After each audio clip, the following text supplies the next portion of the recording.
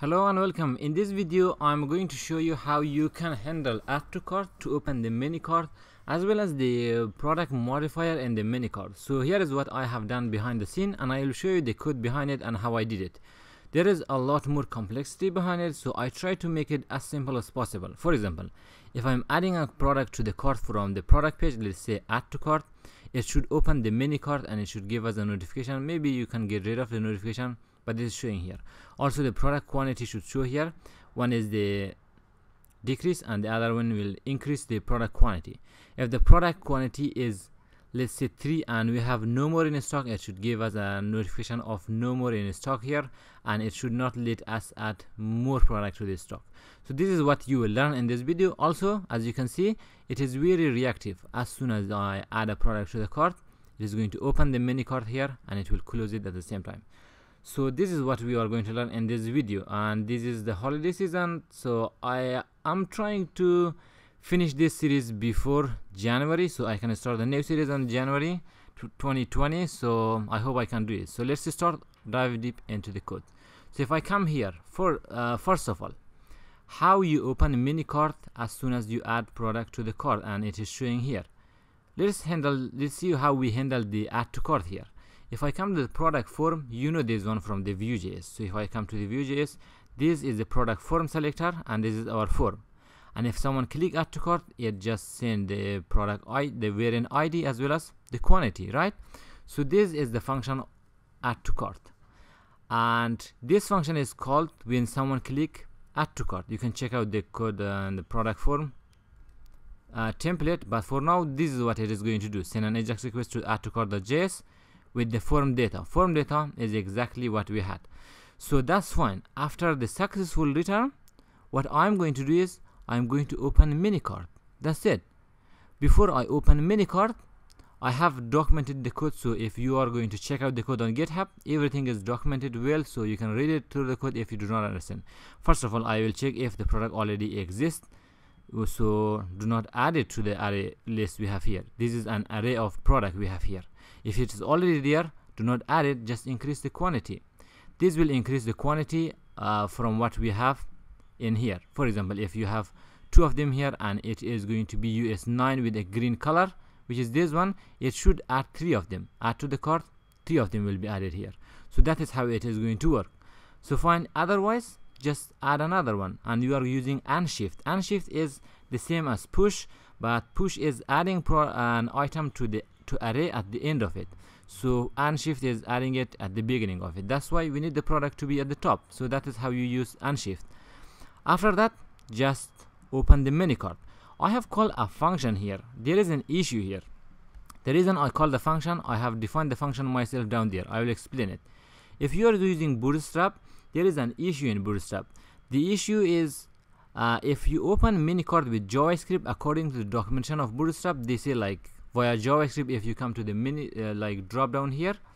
And if you are going to use the drop down show here it will open it but it is not closable. It is a bug by bootstrap. I have tried to search online how to fix this one but there is no fix.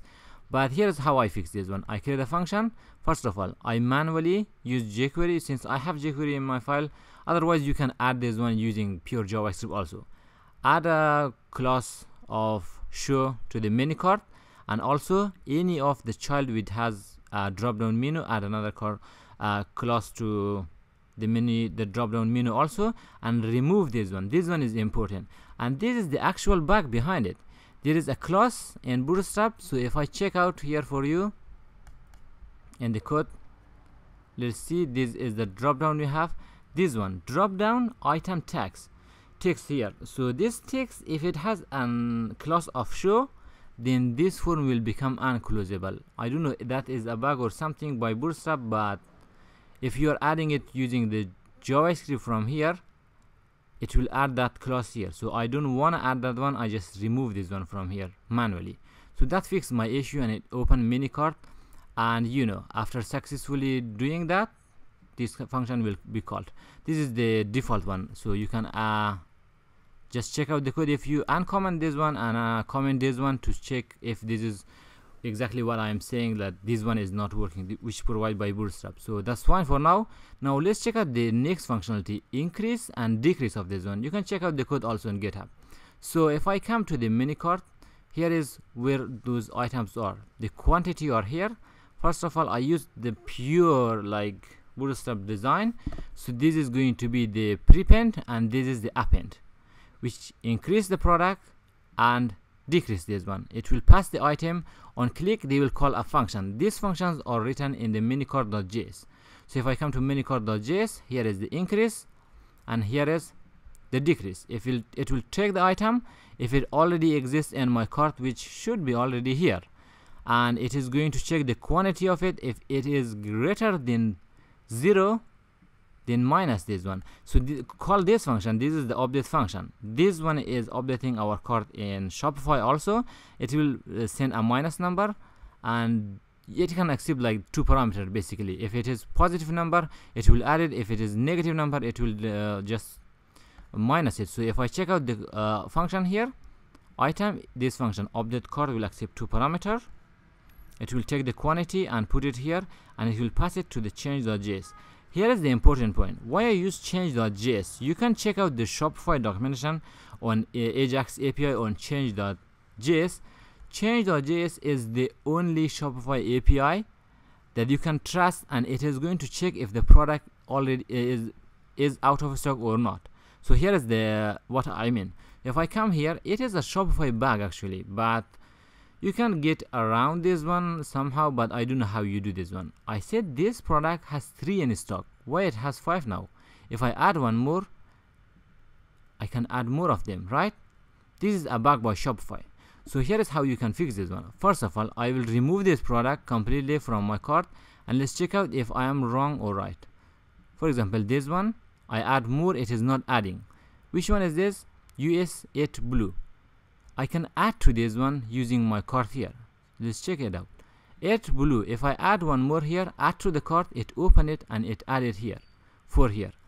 The reason behind this one is because if you are using the cart here, let's check out, if I'm using add to cart and I'm sending a request to the add.js, it can add it to the cart and it will increase the quantity even if it is out of stock for example if i add more of this to this 8 blue add to cart as you can see it did add it didn't give us any error. Because it didn't notice it didn't increase it. Now if i refresh it it still it is 6 here as you can see. That is a shopify bug but you can fix it around i don't know how you do it but there are some ways. And if i uh, do this one in the video but it is going to be a little long. So you can find out how you can fix that issue but that is a shopify bug. So for now it is just fine but if you increase this one now this will be solved if you go to the checkout. If you go to the checkout Shopify will tell you that this product is out of stock so you cannot purchase this one.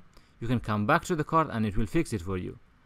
But it is not a good idea. As you can see it is 2 it is 3 while it was 7 this one was 7 but Shopify just minus that one for you. So now I'll come back to my cart here and as you can see it did add 3 here so it is fine for now. Shopify fixed that on the checkout but it is not a good user experience if you check out like more product but in the checkout you go and see you do not have it and it is out of stock. So that is something that you have to know how it is going to work.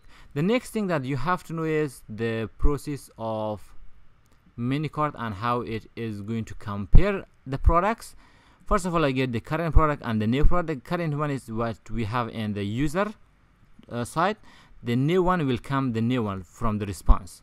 So make sure you can the way you check it if the quantity is greater than zero it means if uh, the user is adding one more to the item and the current item uh, dot quantity is equal to the new item. So if both of them are the same so obviously it didn't add something new right?